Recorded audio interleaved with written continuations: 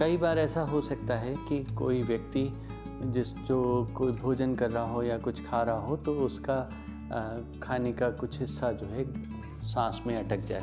ऐसे में व्यक्ति की तुरंत मृत्यु हो सकती है। तो ऐसे में अगर आप मौजूद हैं तो जब तक उसको होश है, उस समय तक आप उससे पूछ सकते हैं कि क्या आपका चोकिंग हो रही है? ओके और, मैं आपकी मदद कर सकता हूँ। फिर आप इस तरह से हाथ को नाभि और ये ब्रेस्ट बोन का नीचे का हिस्सा है यहाँ के बीच में लगा के हाथ को और इस तरह से आप ज़ोर से एक झटके में दबाएँ।